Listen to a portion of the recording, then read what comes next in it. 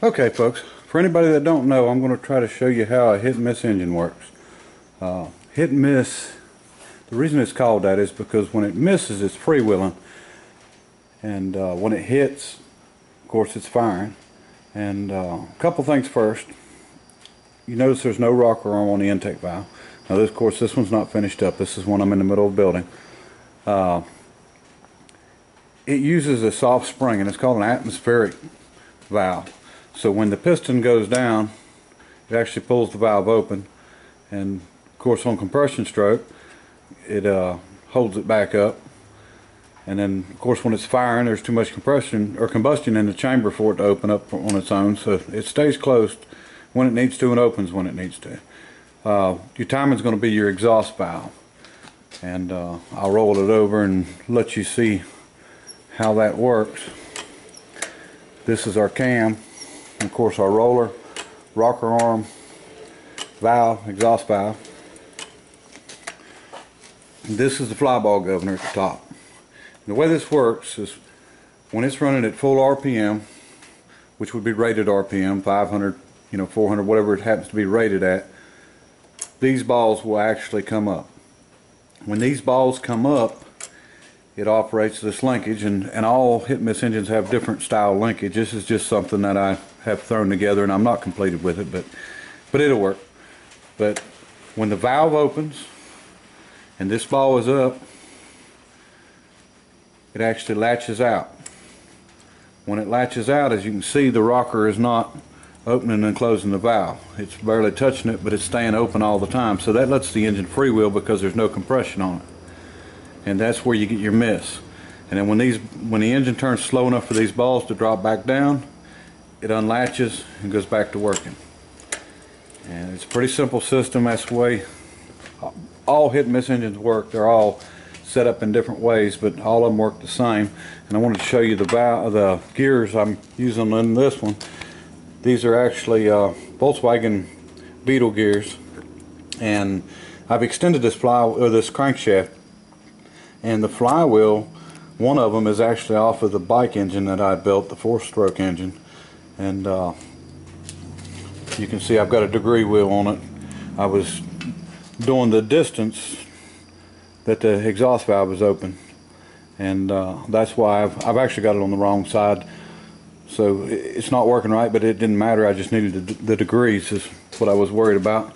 And this is another Quincy A4 this is actually the same exact compressor that is on my bike. And of course here is another one this one is complete.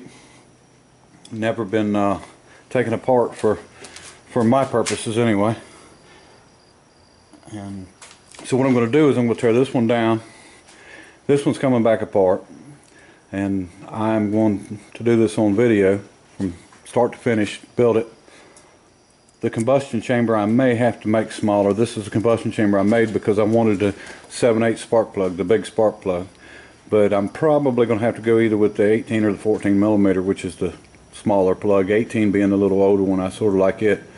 But uh, I really like the old plug, but there's just no room on these engines. And uh, the valves are so wide in there that it's actually bigger than the cylinder so your combustion chamber's got to be clearanced inside and I'll show you all that and I think that's about it on it there's not that much to them uh, carburetor they don't run they run a fuel mixer the fuel mixer is basically just a venturi with a needle valve you make it adjustable not just your fuel you can set it up and I mean that'll be a simple deal and then for firing I think we're going to use uh, possibly a roll pin or uh, just a tab with a set of points, something that that uh, to fire it. And you can fire it off the cam, which turns half speed of the crankshaft, or you can fire it off the crankshaft. Uh, if you fire it off the crankshaft, then you get what's called uh, wasted fire, I think it is. It's when it fires every every rotation, but it only uses it every other rotation. But uh, it don't really matter at all. It don't hurt a thing. But so you can pretty much time it any way you want. These the good thing about building one of these engines is you can almost do anything you want to do linkage wise and there's just so many different ways of doing this but I think you'll enjoy it we're gonna start from nothing and, and build it up. I've got the piston and rod out of this one. Uh, haven't done a lot of work, done the head on it, but we'll redo using the other head. And that way you'll be able to see everything goes on. This is all Model T stuff, uh, just welded together. Uh, stainless shaft that I just happen to have. These balls are off a Model T. This stuff here is just fabricated. These pieces was some kind of hinge pieces, but the other two pieces I've just fabricated them. And the fork and uh, put a grease fit down here, or a grease cup, excuse me, to push in grease on that bushing, and then one here to push in grease on this bushing. And I think these was used on possibly the kingpins, or uh, part part on a Model T somewhere. I'm not sure. You know, of course, they used them on all different kinds of equipment, machines and stuff, but I think these particular ones was off of a Model T. And I may do something a little different on this rod, you know, cut it off or such. It's hanging down, but I'm in the middle of designing and building it. So valve, that's Model T. This valve's an Oliver tractor. And uh, just add the guides in. I don't run hardened seats. I mean, you know, everybody is all up on hardened seats, hardened seats, but the, the deal is, is uh, if you don't run it a long time, it's not going to beat down that bad. Uh, anything before the fuel changed from unleaded didn't run hardened seats anyway. So it's really not going to matter that much. If you know you're real worried about it, you can put a lead additive in your fuel and you know that'll make up for that. Gaskets will make out of uh, graphite and we may or may not run a buzz coil, Ford buzz coil on this. Uh, may make a coil uh, or make a buzz coil out of a regular coil. I mean you can run a magnet or you could you know come up with a million different ways to fire it. It, it as long as you're firing in time, that's the only important part. And like I said, there's so many different ways of doing these, and, and if you look on the internet, you'll see that there's a lot of different ways. And this one here is just the way that I, way it came together. I don't make any plans before I start on something. I know what I want in my head. I just do it as I go, and whatever it comes out, it comes out.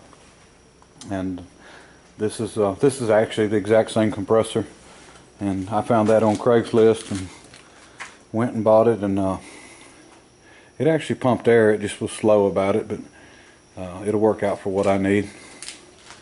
And we'll get started on that soon but hopefully you understand how that works on the hit and miss. It's you know it's really simple. It's you know if you don't look at it or don't know or no one's tells you you know it might sound complicated but it's not and then bug gears they're Volkswagen Beetle gears you can get them all day long on eBay uh, that's the ones for the bug. I think the ones for the the van or the Type 2 or Type 3 or something, I think they're all different. But uh, the the Beetle gear seem to work good, and you know, keyed them, put them in. I'll show you all that.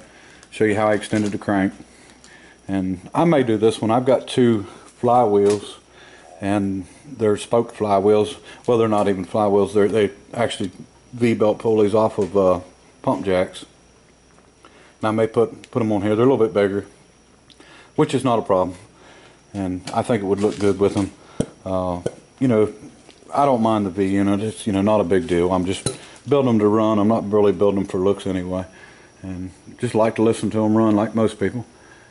And I may leave this intake on this and just see how it sounds, how it looks out for a muffler. And it may work out okay. And but we will see, and I'll get back a hold of you. Back back as soon as we get started on it, and